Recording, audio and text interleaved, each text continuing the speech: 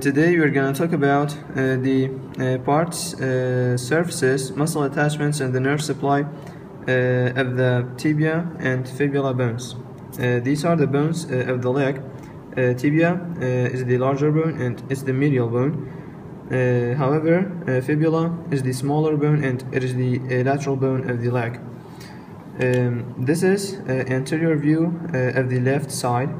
So how do we know that? Uh, we know it's anterior because we see the uh, tibial tuberosity, uh, okay, and uh, we also see this very sharp edge uh, of the fibula, uh, which is called the anterior border of the fibula. So we know that this is anterior. Um, the tibia has got the medial malleolus, which is medial, and the fibula has got the lateral malleolus, which is lateral.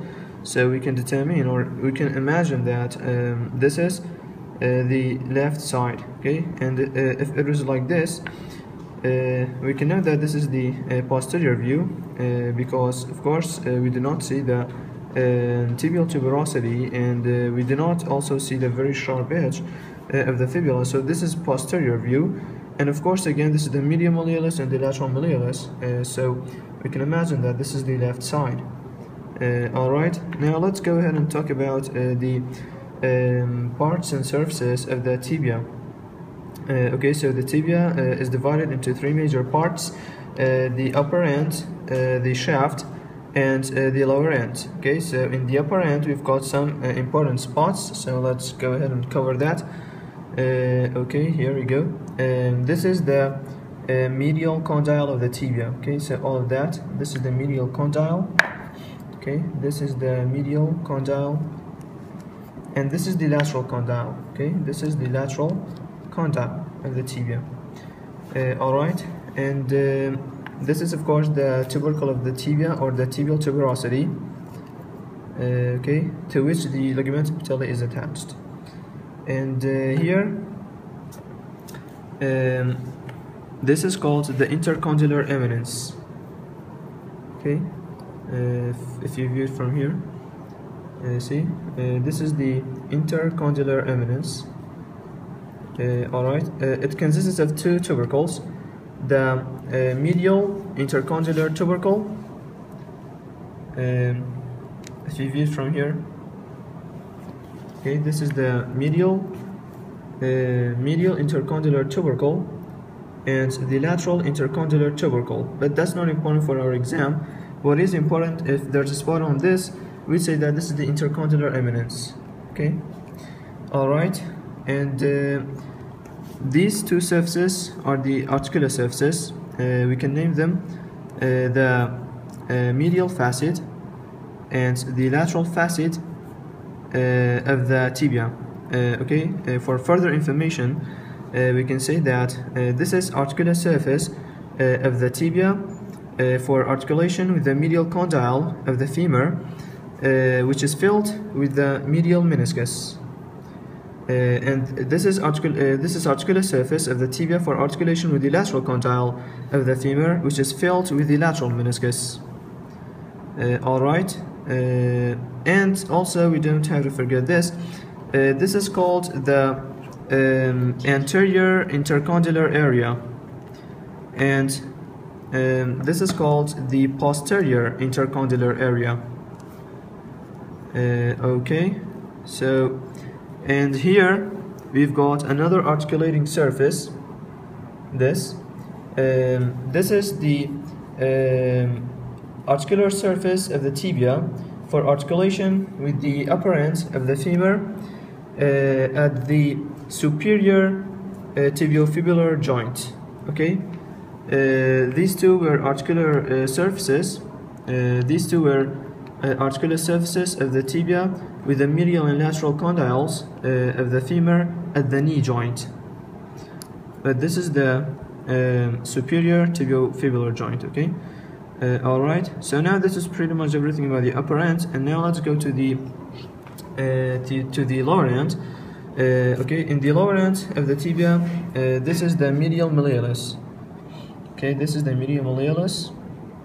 Alright and uh, here uh, we've got another articulating surface so this is uh, articular surface of the tibia for articulation with the talus bone at the ankle joint.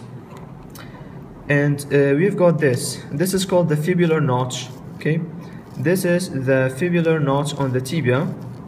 Of course, it articulates with the lower end of the fibula at the inferior tibiofibular joint. Uh, all right, and uh, now let's talk about the shaft of the tibia. Okay, the shaft of the tibia has got uh, three borders and uh, three surfaces. Uh, okay, let's have a look. Okay, here we go, that's it. Uh, we have got three borders and three surfaces, okay? This is the anterior border. Um, this is the medial border.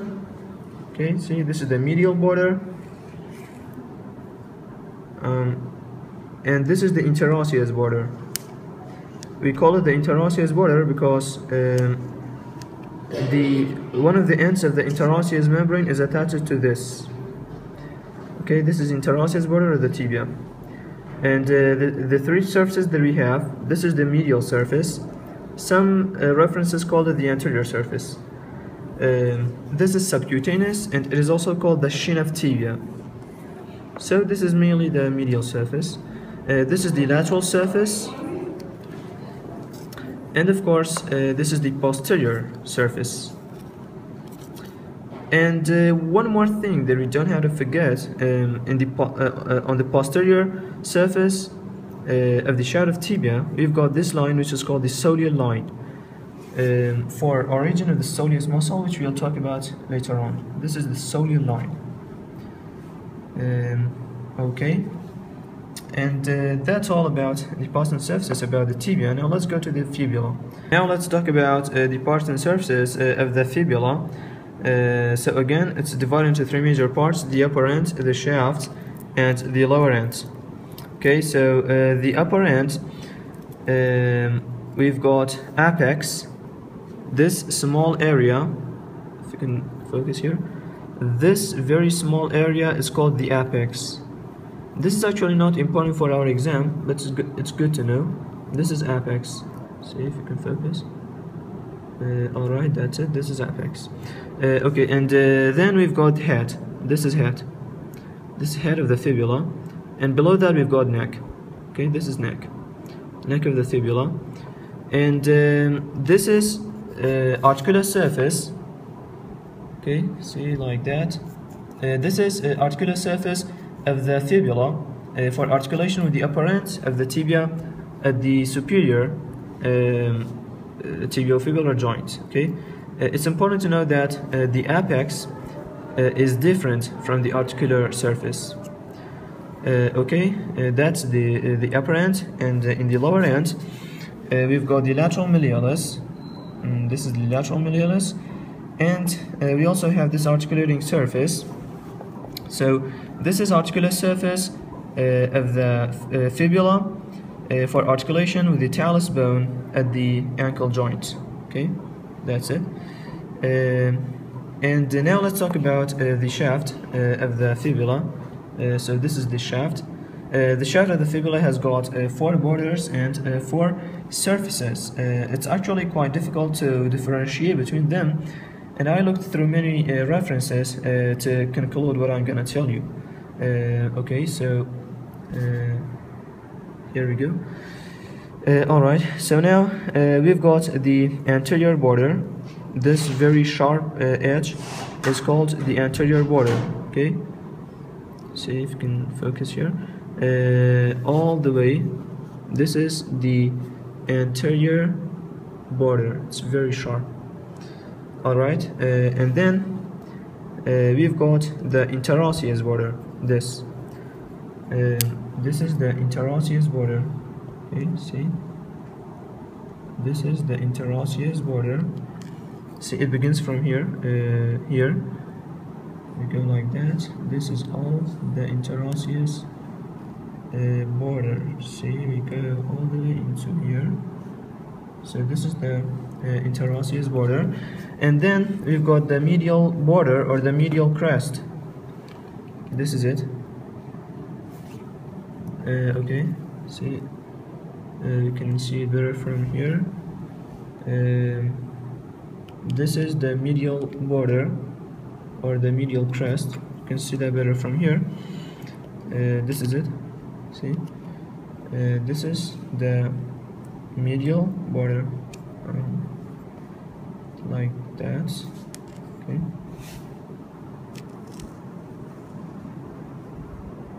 All right. So if there's a spot on this uh, we'd say that this is the medial border or the medial crest of the fibula uh, okay. And then um, we've got uh, the posterior border it's spiral okay? See it goes like that. It's kind of spiral. This is called the posterior border.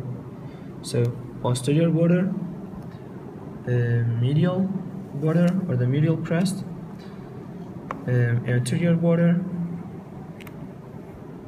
and the interosseous border. Like that interosseous border. Okay there you go all right and the, the surfaces uh, that we have um, between the anterior and the interosseous border we've got the anterior surface. So this is all the anterior surface. Okay. And uh, between the anterior and uh, posterior borders we've got the lateral surface. This large surface is called the lateral surface. Um, and then between the posterior and the medial borders we've got the posterior surface. It's the posterior surface. And finally uh, between the uh, interosseous and uh, medial borders we've got the medial surface. So this is the medial surface see? Medial surface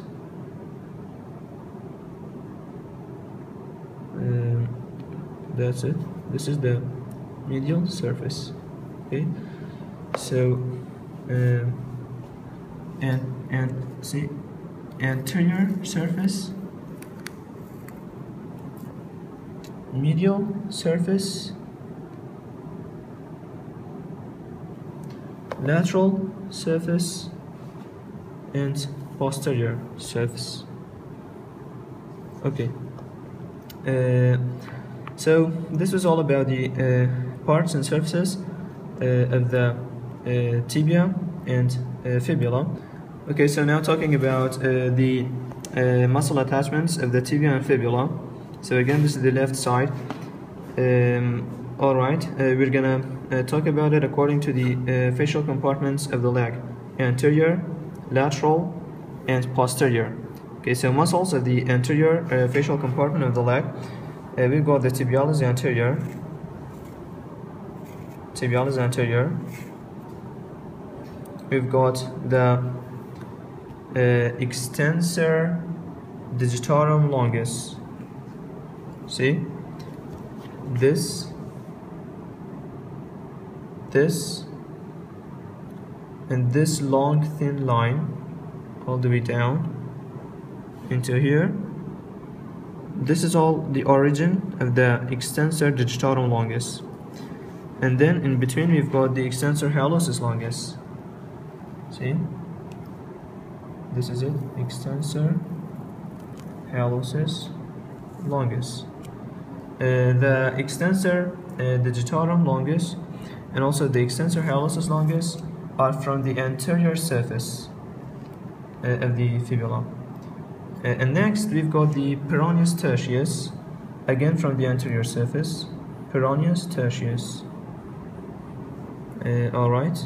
And uh, now let's go to the uh, lateral. And uh, before that uh, of course the nerve supply of the muscles of the anterior compartment is through the deep peroneal nerve. Okay now the lateral surface or the lateral compartment we've got the peroneus longus these two origins this and also this is peroneus longus okay and below that we've got peroneus brevis this is peroneus brevis uh, and of course uh, these are supplied through the superficial peroneal nerve and now let's go to the uh, posterior compartment we've got superficial and deep uh, group of muscles. The superficials are uh, gastrocnemius. Of course, uh, it arises uh, from the femur. And then plantaris again arises from the femur. And then we've got soleus. So this is soleus. This and also this. Uh, its origin is like an inverted V, v shape. Okay, so this and also this are both soleus. Uh, okay, um, and then uh, we've got the deep muscles. Uh, firstly, we've got the popliteus. So this is insertion of the popliteus. Of course, the origin is from the lateral condyle of the femur. Uh, okay, and uh, next uh, we've got uh, a bunch of three other deep muscles. Okay, so the one in the middle is the tibialis posterior. This. Okay, all the way. can see that better. see, this is all the uh, see that's it this is tibialis posterior tibialis posterior uh, along with this over here uh, this is again the tibialis posterior uh, see uh, this was tibialis anterior and right next to it we've got tibialis posterior so tibialis posterior originates both from the fibula and also the tibia. Okay, that's tibialis posterior. Uh, and uh, on the tibia, uh, we've got the uh, digitorum longus. Uh, on the fibula, we've got the flexor hallucis longus. Uh, okay, and about the nerve supply uh, to the uh, muscles uh, of the posterior compartment we've got the tibial nerve okay so all the muscles of the posterior compartment of the leg are supplied uh, through the uh, tibial nerve. Okay and next we've got some other muscles that are not from the compartments of the leg. This is ligamentum patellae, the continuation of the quadriceps femoris tendon, ligamentum patellae. Sartorius, gracilis, and semitendinosus. This is semimembranosus.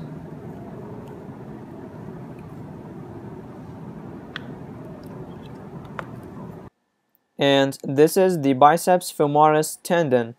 Uh, and about uh, the nerve supply, um, the quadriceps femoris and the sartorius are supplied through the femoral nerve. Uh, the gracilis is supplied through the obturator nerve. Uh, the semi-tendinosus and semimembranosus are supplied through the tibial portion of the sciatic nerve um, and uh, this was the uh, biceps femoris tendon of course it has got two heads long and short heads uh, like this uh, Uh, the short head is supplied uh, by the uh, common peroneal portion uh, of the sciatic nerve and uh, the long head is supplied again by the tibial portion of the sciatic nerve and that should be all about the part surfaces, muscle attachments, and nerve supply of the tibia and fibula.